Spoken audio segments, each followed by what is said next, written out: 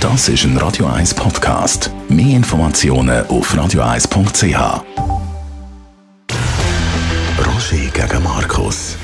Zwei Standpunkte, zwei Meinungen, zwei Welten. Roger Schawinski gegen Markus Somm.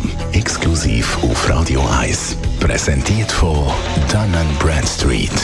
Ihrem Anbieter für Wirtschaftsinformationen. Egal ob bei Stammdaten, Risikomanagement, Marketing oder Compliance. Mit den Daten von Dun Bradstreet liegen Sie immer richtig.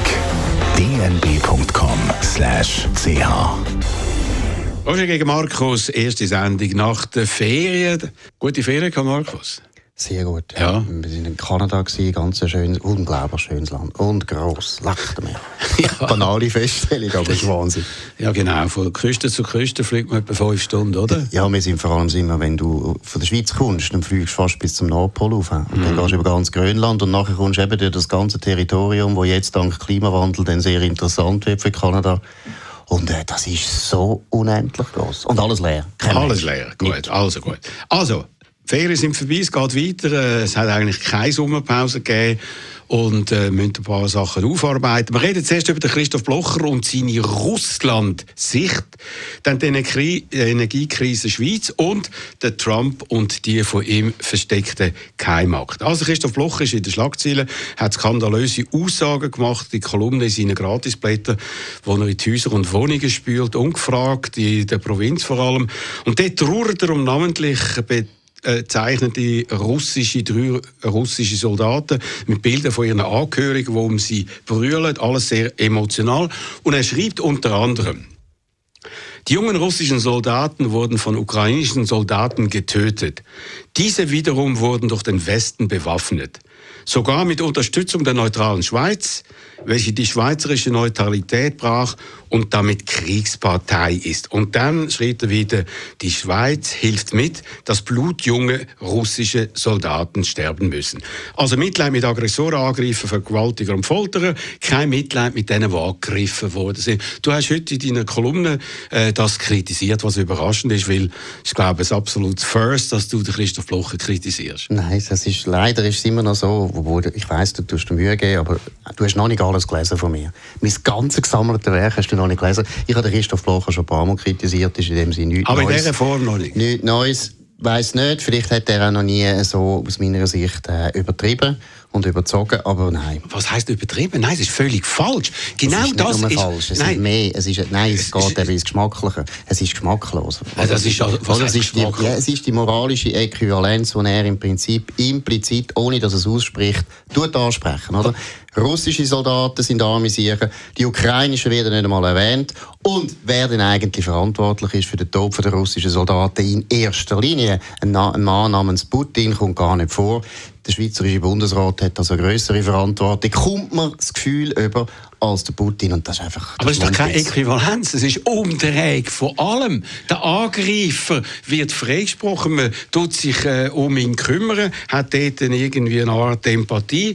Und die Angegriffenen, die, die jede Nacht mit äh, Terrorbomben zerstört werden, die Häuser und die Leute, die getötet werden in der Ukraine, über die kein Wort. Und wegen Putin, du schreibst dann, äh, ja, der Namen von Putin nicht erwähnt, wirkt kurios. Nein, das ist nicht kurios.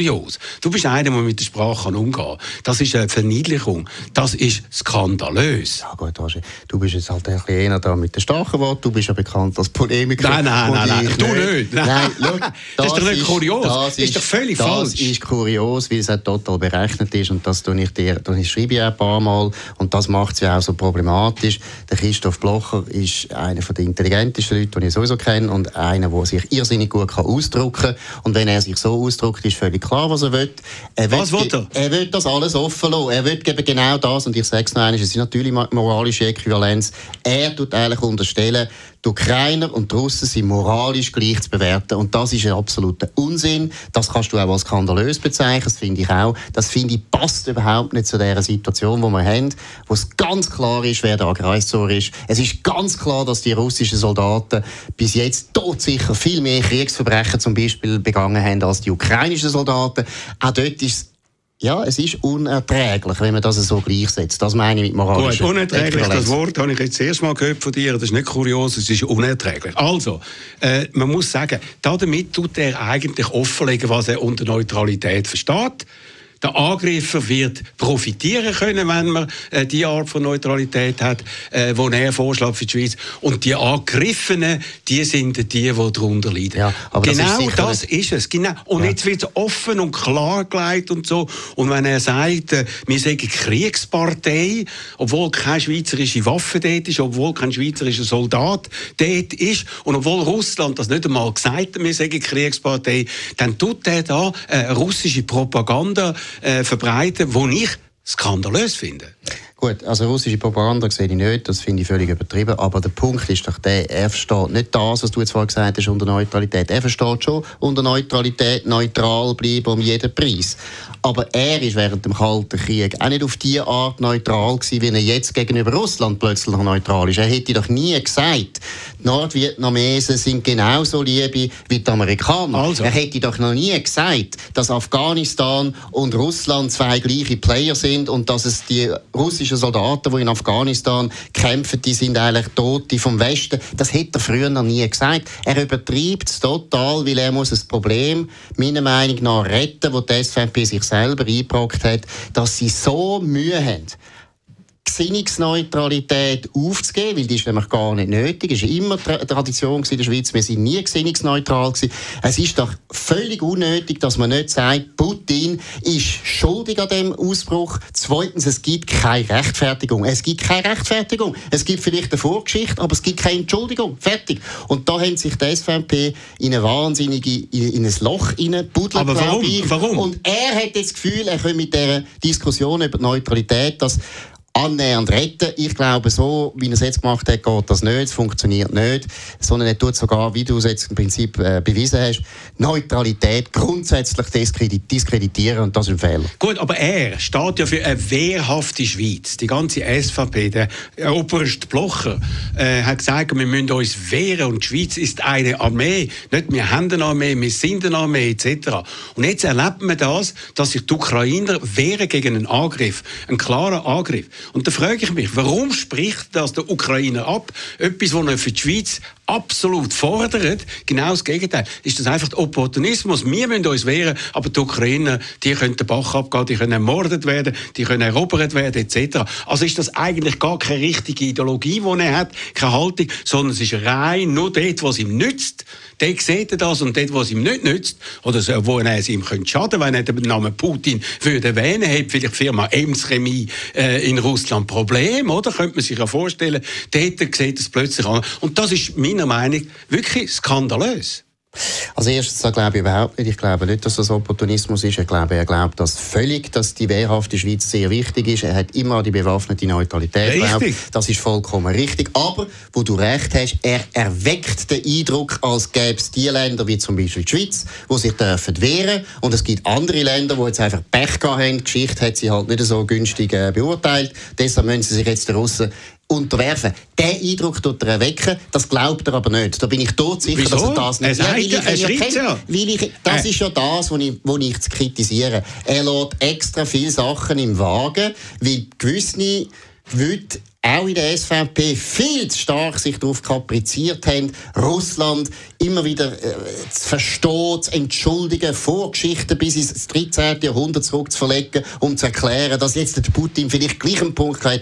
Das ist das Problem von der SVP. Und wenn die SVP so weitermacht, und ich bin, ich bin, ja, ich muss sagen, ich bin ein bisschen, ich bin ein bisschen entsetzt, ich bin entsetzt, dass der Christoph Blocher jetzt auch den Fehler macht, weil ich glaube, es ist ein Fehler. Du kannst genau als Partei wie die SVP, wo an die Schweiz glaubt, wo an die Armee glaubt, wo auch als Recht von kleinen Ländern ah, glaubt, Unabhängigkeit. Unabhängigkeit. Genau. Es ist absurd, dass die Partei mit dieser Tradition auch nur ein Millimeter Verständnis äußern für den Putin. Und noch eines, ich finde, du kannst über Neutralität diskutieren, du kannst auch sagen, die Sanktionen sind ein Fehler gewesen. Aber dann gehört es einfach dazu, dass du zuerst einmal ganz lang darüber redest, was der Putin anrichtet. Und wir wissen es, wir hören unglaubliche Geschichten aus dem Kriegsgebiet. Natürlich, wir haben es nicht ganz gesichert, teilweise ist das vielleicht auch Propaganda, das gehört zum Krieg. Aber es sind so viele Geschichten und es sind teilweise so zuverlässige Quellen. Es ist völlig klar, und wer die Russen kennt, wie sie in den letzten 200 Jahren überall gewütet haben, wo sie nur ein marschiert sind, der ist absolut überzeugt, dass es eine Katastrophe ist und dass das viele Leute von der SVP nicht das erste Mal eine halbe Stunde das sagen und nachher sagen, gut, aber wir finden jetzt aus der Tradition von der Schweiz und so weiter. Die Diskussion fände ich noch okay, aber dass du so weit gehst, dass du eben im Prinzip nachher den Eindruck erweckst, der Putin ist jetzt nicht so schlimm, aber Ignazio Gassis, hei, hei, hei, hei.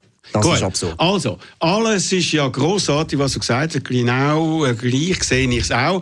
Äh, Philippika, wo du da jetzt bringst in einer Form, wie man es von dir noch nicht gehört. Nur ein bisschen. Wenn du sagst, er lässt es im Wagen. Er lässt es überhaupt nicht im Wagen. Es ist glasklar, was er sagt. Du musst doch nicht irgendwie abnüteln. Und äh, du musst es auf die Art und Weise wieder verwischen. Das ist dann eben kurios.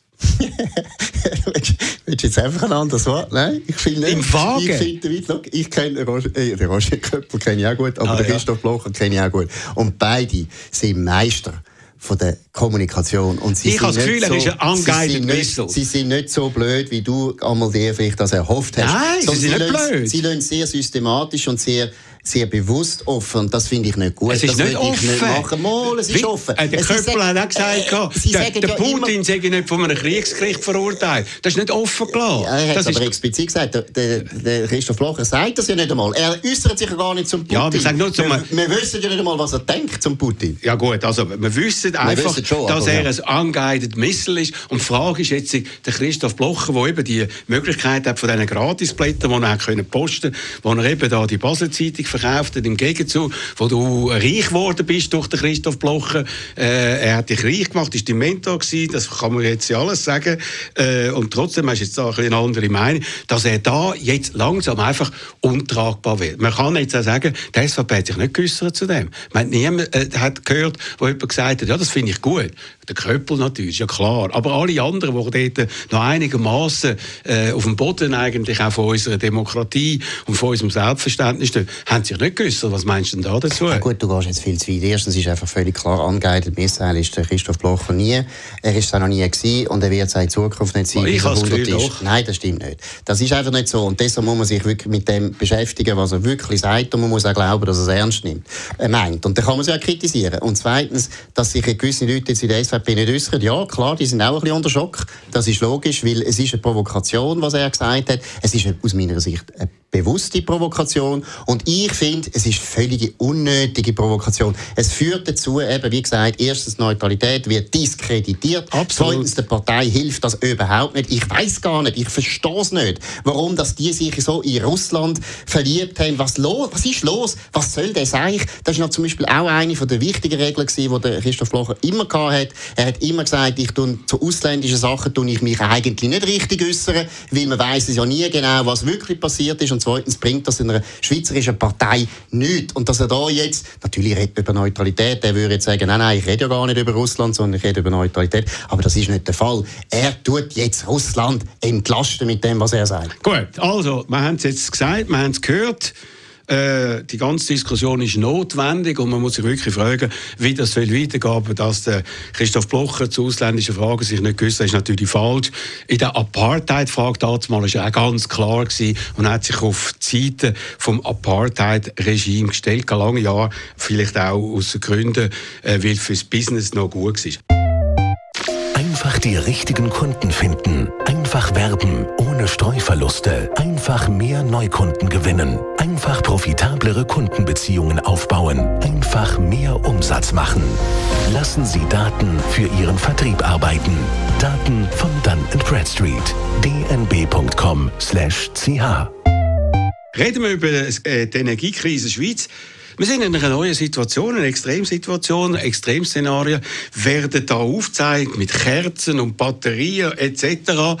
Wir haben dann zu wenig Strom, heisst im Winter. Und ich komme da nicht raus. Ich bin nicht Experte. Ich weiß nicht, ob du das bist. Warum sollen wir im nächsten Winter weniger Strom haben als im letzten Winter? Was ist denn anders?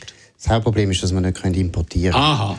Und wir können importieren, weil die Franzosen die Hälfte von ihren AKWs abgestellt Aha. haben. Da habe ich noch ein paar Fragen. Da bin ich nicht ganz sicher, ob sie das nicht einfach aus taktischen Gründen machen. Im Januar sagen sie April, April, Deutsche, ihr müsst jetzt einfach zahlen und wir wollen noch die und die Konzession von euch. Das könnte meiner Meinung nach sein.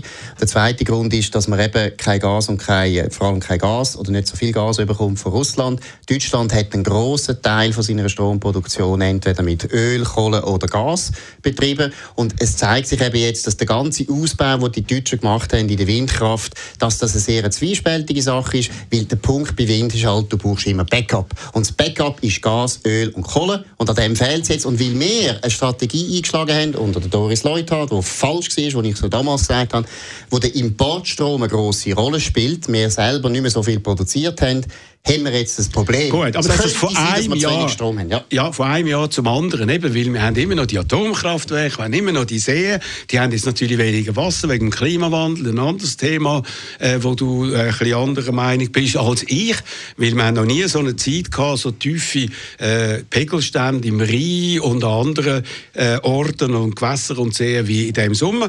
Das kommt zusätzlich, also es ist ja sehr oft, dass dann mehrere Sachen zusammenkommen, aber eigentlich das, was du am Anfang gesagt das ist wegen dem Strom aus dem Ausland. Weil, logisch, wir sind auf den Strom angewiesen. Und Deutschland liefert jetzt, obwohl sie es nicht äh, gross an die Glocke hängen, liefert den Franzosen Gas, weil die eben zu wenig Strom haben äh, wegen den Atomkraftwerken. Warum? Weil die haben Abkommen. Weil die sind in der EU. Wir haben kein Abkommen. Und wo du da jubiliert hast, dass da äh, die ganzen Verhandlungen mit der EU abgebrochen worden sind, habe ich dort schon lange immer gesagt, wir haben kein Stromabkommen. Und das ist jetzt äh, alles natürlich noch viel extremer, weil wir eben die Kriegssituation haben und die Mangel Situation haben.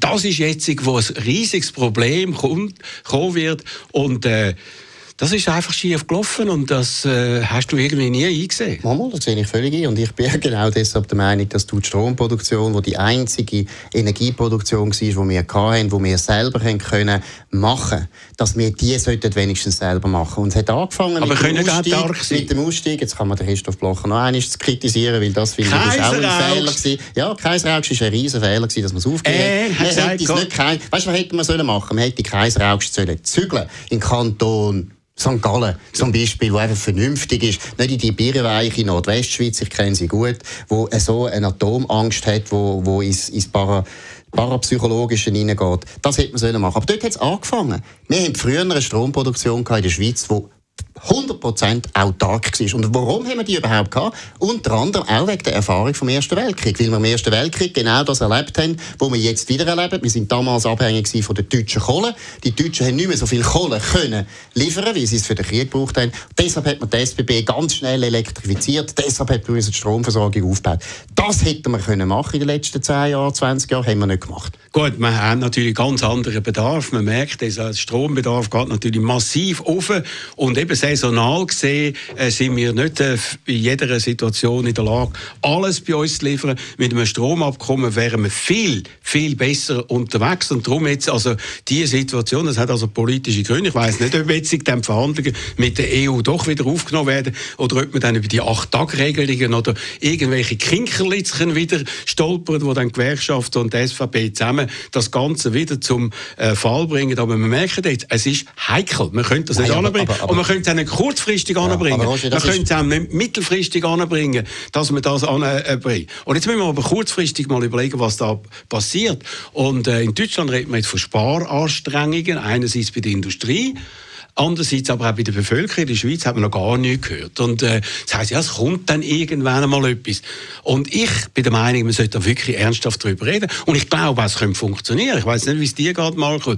Wir haben ja alle irgendwie ein schlechtes Gefühl, da sterben, laufen Menschen in Europa. Wir machen eigentlich nichts, wir helfen nicht. Aber wenn wir können helfen, eine Erpressungssituation ausgelöst, vor allem von Wladimir Putin, dem kuriosen Typ, äh, dass man die könnte ein bisschen bisschen mildern, indem wir auch ein bisschen verzichten, dann würden, glaube ich, die meisten Schweizer mitmachen. Glaubst du nicht? Ja, also du kennst ja noch die Aktion von Adolf Ogi mit dem Eierkochen. Aber es ist keine Extremsituation. Das war herzig, herzig und alle haben gelacht und heute reden wir noch davon. Weißt du, das ist schon okay. Man kann sicher ein bisschen sparen und so weiter, aber das ist nicht nachhaltig und es wird nicht passieren. wir müssen es den Winter durchbringen. Stro ja, es geht eben nicht nur um den Winter. Aber vor allem. Problem, nein, nein, das stimmt eben nicht. Das ist der Punkt. Der Putin wird natürlich jetzt immer als Vorwand gebracht, aber der Punkt ist, wir haben eine falsche Energiestrategie gemacht, wo zu wenig Stromproduktion sichergestellt worden ist. Aus welchen Gründen auch immer. Dann hat man das immer zugedeckt mit zwei Sachen. Wir importieren nachher den Strom oder zweitens, wir haben ein Stromabkommen. Das Stromabkommen ist eine völlige Chimäre. Du hast es vorher Frankreich erwähnt. Selbst in der EU, wenn der Strom wirklich ausgeht, das haben wir auch gesehen bei der Pandemie, ist jeder sich am nächsten. Das ist der Punkt. Das ist nicht, ich habe gerade gesagt, die Deutschen liefern jetzt, ja, jetzt sogar schon, die Franzosen. Ja, weil die Deutschen Huren Angst haben, dass die Franzosen keinen Strom mehr liefern, weil sie ganz genau wissen, die Franzosen werden uns erpressen. Und ich kann dir jetzt schon sagen, Roger, Eben. das Verhältnis zwischen Frankreich und Deutschland ist genau aus dem Grund enorm angespannt und es wird noch angespannter sein, weil die Franzosen wissen ganz genau, der grüne Irrsinn der Deutschen können sie jetzt ausnutzen. Die Franzosen sind nicht so birrenweich wie die Deutschen und deshalb haben sie jetzt Stromkapazität auf die Dauer.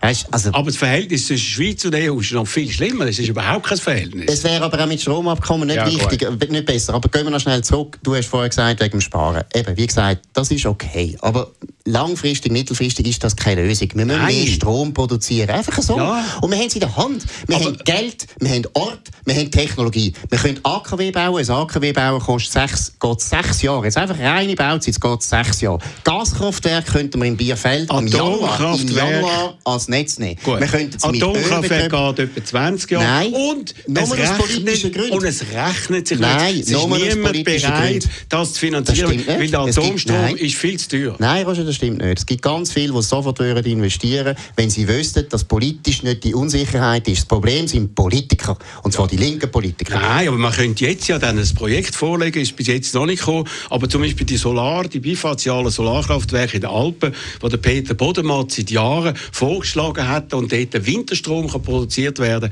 in grossem Maß. Heißt plötzlich, das müssen wir jetzt wieder Blitz anbringen vor dem Winter. Wird natürlich nicht funktionieren, weil die Leute, die das müssen installieren, die gibt es etc. nicht vielleicht einen Winter später. Aber, Markus, es könnte jetzt passieren, dass es wirklich einen Schub wird geben, genau um solche äh, äh, erneuerbare Energien, dass man die jetzt kann fördern kann also. und dass das ein Teil von der Lösung könnte sein mittelfristig. Also. Aber nochmal, glaubst du jetzt, die Bevölkerung, die meisten Leute werden helfen, sagen wir, Temperatur runter Wir hier im Radio sind dann bei 19 Grad statt mit 23 Grad. Das machen wir, das werden ja, wir das machen. machen wir und das ersten, machen wir die, die das machen wir, ja, das ist okay, aber das machen wir die ersten paar Wochen. Und weißt, das lange nicht. Wir brauchen Strom in den Spitälern, wir brauchen Strom ja. beim Zahlen, wir brauchen Strom in den Banken, wir brauchen so viel Strom. Die Leute sind sich heute nicht mehr bewusst, wie viel Strom wir brauchen. Wir Aber das ist falsch, wenn du Jahr das jetzt sagst. Mehr Strom. Ja, reden wir mit dem Jugendlichen und seinen, seinen Handys und sagen dann, ja, jetzt tust du mal zwei Wochen ohne Handy hochkommen. Das ist nicht realistisch. Nein, aber es ist einfach, wenn du das jetzt wieder abnüterst und man weiss, wenn zum Beispiel um drei oder vier Grad im Winter Temperatur abgebracht wird, wo man immer noch gut kann leben kann, ohne dass man da äh, klamme Finger bekommt und dann nicht mehr kann irgendwie töckeln etc., dann ist das massiv. Dann geht vielleicht der Verbrauch um 20 Prozent zurück. Und das wird wahrscheinlich schon lange. Ein Volk, das so viel Masken getragen hat, ohne dass man vielleicht gewusst hat, ob es etwas bringt, weil sie so Angst gehabt hat vor dieser Krankheit. Hast du wirklich das Gefühl, so ein Volk sagt dann, ja, wenn es ein bisschen kälter ist, mit dem kann man auch leben. Es ist nicht mehr so. Schau. Und du bist Ökonom. Roger, du bist Ökonom und du bist genug lang auf dieser Welt, dass du mir kannst sagen, ab deiner Geburt bis jetzt, wie sich der Energiebedarf vom Menschen entwickelt hat. Es gibt kein einziges Jahr, wo der Energiebedarf zurückgegangen ist. Ja. Eine moderne Gesellschaft wird immer mehr Energie. Ja. Und alles, was uns zwei lieb und teuer ist, der Rechtsstaat, Menschenrecht, Wohlstand, Freiheit, alles das geht mit mehr Energie. Wenn der Mensch wenig Energie hat, dann haben wir Mittelalter und dann werden die Fürsten Bauern wieder ausrotten und, so weiter. Also, man hört Energie Markus... ist gut, Energie ist gut. Ja. Es, geht, es geht nicht zurück. Aber, also, ich glaube, man wird das machen und ich hoffe, dass das die meisten Leute machen. Ich werde es machen, du nicht. Okay. Also, ich glaube, da tut man einen Beitrag leisten. Ich habe nicht gesagt, ich mache das. Ich mache es schon aus Kostengründen. Das ist so hoch teuer geworden. Also, reden wir über Donald Trump. Äh, auch ein Thema, das schon länger begleitet, etwa fünf Jahre, sechs Jahre, es hört nicht mehr auf. Er hat Geheimdokumente, und zwar von der allerhöchsten Geheimstufe hat er in seiner äh, Anlage da in Mar-a-Lago in Florida hat er gehabt, hat sie nicht zurückgegeben, sie sind schon mal gekommen, hat er 15 Kisten zurückgegeben, aber offenbar nicht alles. FBI hat das gefunden. Und die Frage ist jetzt, und da frage ich dich, du als Trump-Intimus, oder? Warum hat er das gemacht? Was ist der Sinn vom das Ganzen? Das ist kurios. kurios. kurios. Ja, ist sehr kurios. Warum er Kiste mitnimmt? Ja. Ja, weil erstens, so wie ich den Trump einschätze, ist einfach ein schludriger Sieg und er ist ein todsicherer Sammler. Jemand, der mal bei ihm im Büro war, hat mir erzählt, das ist jede hure Medaille, die er irgendwo in einem Kaff irgendwie bekommen hat, weil er einen Rang 3 hat in einem Wrestling-Wettbewerb, ist aufgehängt. Er ist ein Sammler. Er hat sich so wohl gefühlt in dem Weißen Haus, hat das so irrsinnig gefunden, hat einfach gefunden, ja, ich brauche einfach das Material. Also, aber man weiß, er hat ja die Sachen gar nie gelesen. Die, er hat ja die, all die das Unterlagen. Du, das wissen Nein, wir nicht. Das zeigt ja jetzt gerade, dass er Unterlagen offensichtlich sehr ernst Nein. nimmt. Sonst hätte er sie ja nicht mitgenommen. Nein, es könnte ja auch andere Gründe geben, dass er mit denen etwas macht, Der oder? Er ja gescheiter verbrennt, oder? Nein, er hätte es ja vielleicht äh, irgendwie können benutzen für gewisse Sachen. Man weiß es. Kannst es ist einfach... Denn, es ist denn? Sie sollen jetzt ihren Prozess machen. Ich will den Case sehen. Genau. Jetzt haben sie unter einem riesen Aufwand haben sie die Hausdurchsuchung gemacht. Das ist nicht so groß. Ja, ist mal. 30 Agenten ist nicht schlecht. Ja, zeigt zum Teil schwer bewaffnet. Das ist recht Nein. Ungewöhnlich. Nein, Jetzt sollen sie ihren Case was bringen, sie sollen zeigen, was ja. da... Und ich kann dir sagen, es wird wieder ein Nothing-Burger. Gut, also wenn wir schauen. Also entweder gibt es eine Anklage gegen den Trump oder der Justizminister Merrick Garland muss zurücktreten.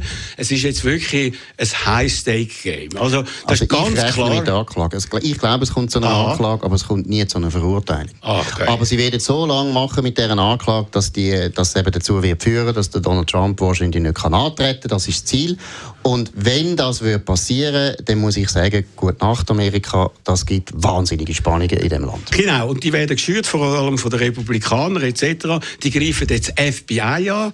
Das FBI darf kein Mittel mehr haben, es muss abgeschafft werden. Das Gleiche, was die Linken dort, oder ein paar extreme Linke gesagt haben, bei Black Lives Matter, defund the police, also die Polizei soll wenig Mittel haben. Jetzt hat ausgerechnet die Republikanische Partei, Partei für Recht und Ordnung etc., wo das FBI auflösen oder irgendwie entkernen und überhaupt Polizei etc. Also es ist ganz extrem, was jetzt da abgeht. Und äh, die Republikaner sind sofort, wo das geheißen es gibt eben da die Suche in dem äh, Mar-a-Lago, sind sie sofort auf der Seite von Trump gewesen. Nachher, wo rausgekommen ist, dass die grösste Keimstufe dort bei diesen Dokumenten zum Teil erreicht wurde, haben sie zum Teil ein bisschen zurückbuchstabiert. Man weiß noch nicht genau im Detail, warum weiß man es nicht. Das Affidavit, wo alles das drinnen ist, äh, kann nicht veröffentlicht werden, sagt das Justizministerium. Ja, wieso, nicht? Das ist, ja komisch. das ist auffällig. Nein, das, das ist auffällig. Nein, Mar Markus, da kennst du dich ein bisschen zu wenig gut. Die Affidavits werden im Prinzip nie veröffentlicht. Mhm. Warum? Weil dort Namen drin stehen, weil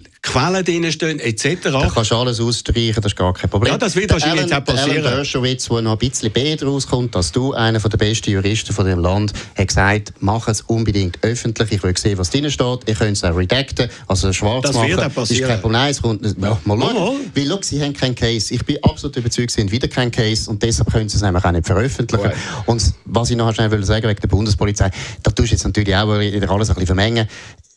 Die Fund Police ist darum gegangen, wirklich die Polizei wirklich einfach äh, das Geld wegzunehmen, wo in der Stadt ist, wo die Dorfpolizei ist, wo die Stadtpolizei ist. Das FBI ist ein bisschen etwas anderes. Die Bundespolizei ist nicht einmal das Thema bei der BLM, sondern es ist die andere Polizei gewesen. Ja. Und Bundespolizei, FBI, muss ich auch sagen, ich bin froh, dass wir kein Busipo bekommen haben, wo die Kurt Vogel seinerzeit hat wollen. Da schließt sich wieder ein Kreis. Das habe ich immer sehr problematisch also. gefunden. Das FBI ist eine problematische Behörde geworden. Also, an der Spitze vom FBI ist der Mann, der von Trump benannt worden ist, der Mr. Ray, und er ist immer noch dort. Also schauen wir mal, was in Amerika passiert ist, seit wir das letzte Mal geredet haben. Der Joe Biden hat unglaublich viel durchgebracht. Äh, Gesetze gegen Inflation, für Umweltschutz, für Infrastruktur. Der Benzinpreis, der wichtigste Preis in Amerika überhaupt, sinkt laufend etc. Und alle, die geglaubt haben, bei diesen Midterm-Election werden die Republikaner gross abräumen und die Demokraten werden untergehen, weil der Joe Biden seine Beliebtheitswerte immer noch tief sind, vor allem natürlich auch wegen der Afghanistan-Situation etc. Äh, der, die stehen jetzt besser da, auch wegen der Abtreibungsdebatte, äh, noch wird äh, aufgeheizt, weil jetzt die Republikaner wollen auf nationaler Ebene Abtreibung verbieten. Also es hat sich alles ein bisschen geändert. Und wenn das so weitergeht, werden die Republikaner eben nicht richtig Abraham. Was sie meistens machen, eben die Partei, die nicht in der Regierung ist, die nicht äh, am Ruder ist, gönnt damals bei den Midterms, das könnte jetzt äh, anders sein. Ja, das sehen wir jetzt. Du bist ja, ja. so ein guter Prognostiker wie ich.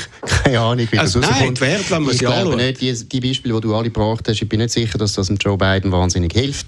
Wichtig ist, wie die Inflation aussieht, wenn die Wahlen sind. Wichtig ist, wie die Leute äh, die Wirtschaftslage einschätzen. Zurzeit sind alle Umfragen zeigen, dass irgendwie unglaubliche Prozentsätze der Leute finden, nein, das Land ist in die falsche Richtung ja, unterwegs. Unter anderem, weißt du wieso? Weißt wieso? Das schatten Demokraten, sie sind in der Macht. Das spielt ja keine Rolle, wieso. Spielt gar keine Rolle, wieso. Weißt du, was der Grund ist, wieso sie haben das Gefühl, in die ja, falsche Richtung? Weil Demokratie in Gefahr ist. Und nein. wer setzt Demokratie in Gefahr? Ja, sind ja, die Republikaner ja, und, und dann, Trump. Dann würden sie ja die folgen und würden genau das machen, was du sagst, dann würden die Demokraten unterstützen. Ja. Du hast selber vorhin gesagt, Joe Biden ist immer noch unglaublich unbeliebt. Etwas so wie der Trump zweitens, aber der Trump ist etwas Spezielles. Der Trump hat man, nein, nein, der Trump hat man gewusst, der polarisiert wie wahnsinnig. Ja. Und deshalb hat man das Gefühl, er ist eine Gefahr für die Demokratie. Der Joe Biden hätte sollen ein sicherer Wert sein. Alle sind überrascht, dass der so abgesagt ist, cool. weil er so unfähig ist, wie alle gewusst haben. Cool. Barack Obama hat es immer gesagt, hat selber über seinen Vizepräsidenten nicht sehr schmeichelhaft geredet. Schau, das ist eine Flasche, aber jetzt ist er sogar mental nicht mehr genug zu Weg. Wie die Midterms ausgehen, keine Ahnung, also, passiert. Das sagt Markus so seit langem. Also er hat jetzt mehr Erfolg im Parlament gebracht als der Trump während vier Jahren. Und, nein, mehr, mehrere. Eine nach der Gun Royals, jetzt, ich kann gar nicht alle aufzählen. Mehr sogar als der Obama in den letzten zwei Jahren, wo er nicht Mehrheit hatte. Er ist auch in Sachen Ukraine ganz klar, hilft dort, was du gut findest. Und da frage ich jetzt zum Schluss, wer ist jetzt von diesen beiden Politikern mental besser zu Weg? Der Joe Biden oder der Christoph Blocher?